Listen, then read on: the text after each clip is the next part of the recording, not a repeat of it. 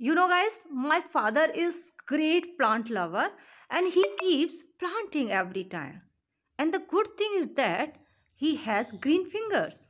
इनको आपने सुना ये बता रही थी कि इनके फादर पौधों के बहुत शौकीन हैं हमेशा कोई ना कोई पौधा लगाते रहते हैं और उनके फादर की उंगलियाँ ग्रीन हैं जो लास्ट में इन्होंने सेंटेंस यूज़ किया my father has green fingers इसका मीन्स है कि इनके पिताजी जो भी पौधा लगाते हैं, वो लग जाता है। हो सकता है you also have green fingers काफ़ी अच्छा फ्रेज है use in your conversation happy learning